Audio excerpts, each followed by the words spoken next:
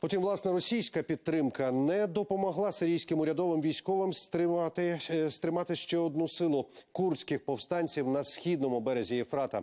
Загоном робочої партії Курдистану вдалося захопити два міста і одне нафтове родовище у тій такій провінції ДРС ЗОР. Про це повідомила турецька інформагенція Анадолу. Саме на східному березі Єфрата розташовані 11 найбільших нафтових родовищ Сирії, і це близько третини всіх енергетичних ресурсів країни.